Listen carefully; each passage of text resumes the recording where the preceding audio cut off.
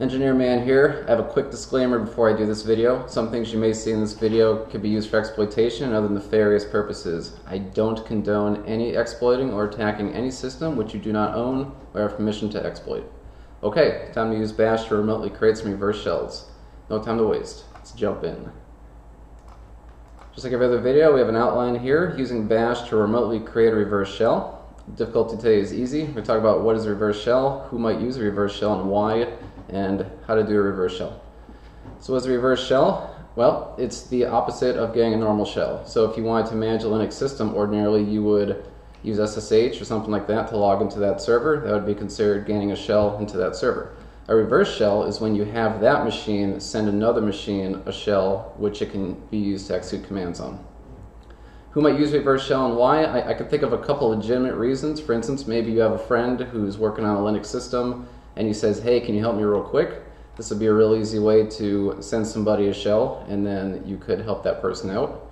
But mostly this is used for nefarious purposes. If a hacker were to, or a security auditor were to compromise a system, he could use a reverse shell to then send a prompt to another machine, which he could then use to do other things on.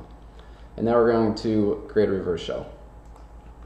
So just to set the stage here, I have two terminals here. The left terminal is a server which is here in my home. On the right side, I have a remote server located in Iowa.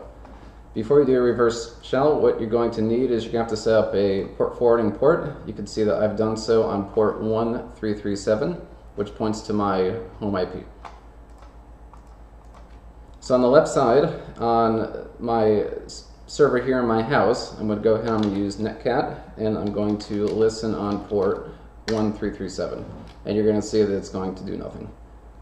On the right side, on the remote server, and this could be any server anywhere in the world, doesn't matter.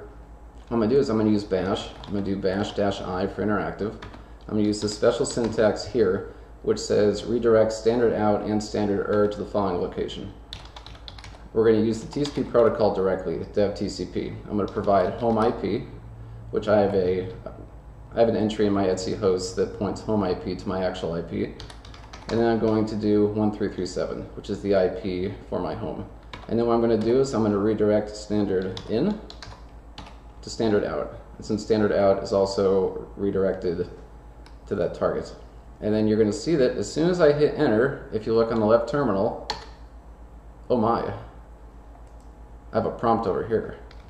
You can see now that I can see everything in this remote server. I can look at logs, I can check users, I can do anything I want. And it's as root. It's as if you're logged in over here. Now if you haven't realized yet, this is a pretty dangerous capability. And what I'm going to do later is I'm going to cover in a separate video additional things you can do, particularly around security and how to prevent yourself from having this sort of thing happen. Because this is a huge attack vector that can give an attacker root very easily. And there's a number of things, particularly programming languages and other software that have access to run commands directly on the system, if, if they're running root. And that's it. Hopefully everyone learned something. If I forgot to cover something, or you'd like to learn more, or you'd like to request a tutorial, post a comment below. And if you enjoyed this video, hit that like and subscribe button so you don't miss new videos. See you next time.